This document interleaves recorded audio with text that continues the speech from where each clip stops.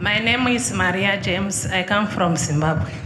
My question is, man of God, in my family, people they are dying.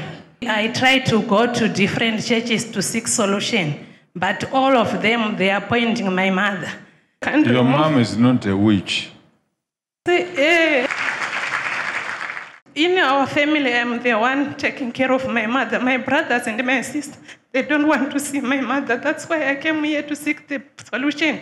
I told them I'm going to Uganda for They are, solution. they are hating her for no good reason. Yeah, they don't want to see her. No. They send me message that we are going to Mozambique to kill our mother because it's the cause of this problem. We are suffering. We She don't has have never anything. been the cause.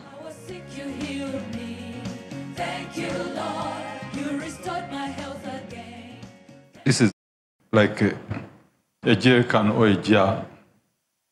People used to come and fetch water here. Yes, The water was coming from the like a hill, yes, and they, they put something Yes. to tap the water, yes, and the water could come in the jug or in the can. yes, yes. This is where the sickness is coming from. This is not witchcraft. This water they are drinking is contaminated. That is what is bringing sickness.